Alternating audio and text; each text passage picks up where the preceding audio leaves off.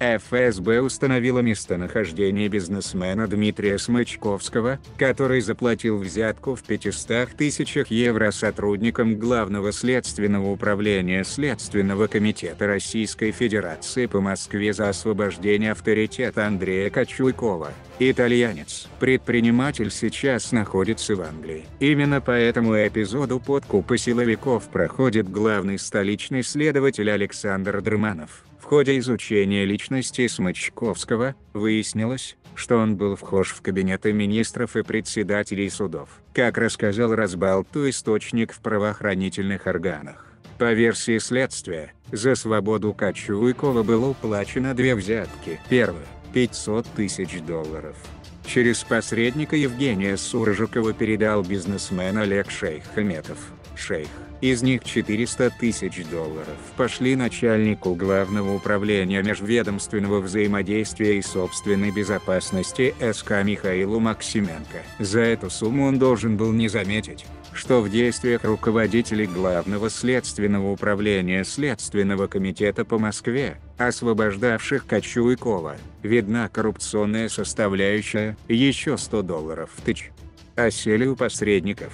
Вторая взятка, в размере 500 тысяч евро, пошла уже непосредственно столичным следователям, принявшим решение, способствовавшие выходу итальянца из СИЗа. Как распределились роли представителей Главного следственного управления Следственного комитета Российской Федерации по Москве при дележе денег еще устанавливается. Расследование дела продолжается. Бывший глава САПЦАО Главного следственного управления Следственного комитета Российской Федерации по Москве Алексей Крамаренко сейчас находится под стражей. Экс-замначальника Главного следственного управления управления Следственного комитета по Москве Денис Никандров тоже пребывает в СИЗО. Он заключил сделку со следствием и уверяет, что денег не получал, а помогал в истории с Кочуйковым опасаясь впасть в немилость к своему руководству. Не исключено, что ему переквалифицируют обвинения с получения взятки на превышение полномочий. Сложнее ситуация с Александром Драмановым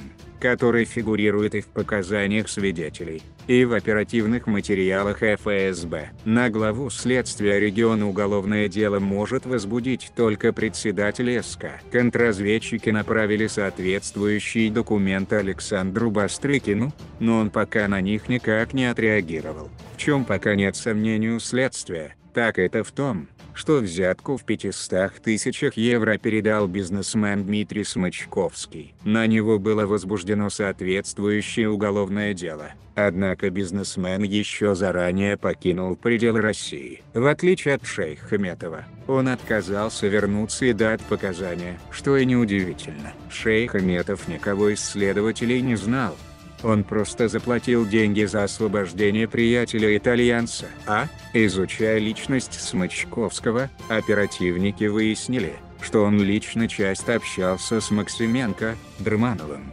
Крамаренко, Никандровым. Бывал у некоторых из них на днях рождения.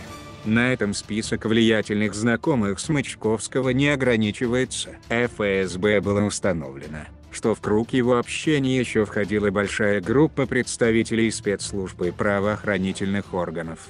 Бизнесмен дружил с одним из действующих министров, имел с ним общий проект в Одинцовском районе Подмосковья. Кроме того, он приятельствовал с председателем суда одного из крупных регионов. Он также дружен и с экс-советником председателя Верховного суда Игорем Борисенко, которым ФСБ тоже интересуется в связи с расследованием о подкупе силовиков. По мнению источника агентства, в приятелях у Смычковского все бывшие действующие владельцы сети ресторанов Якитаре. У Смычковского огромный строительный бизнес в Краснодарском крае и в Подмосковье. В Кубани для него не было ни одного кабинета, куда бы он не мог прийти в любое время.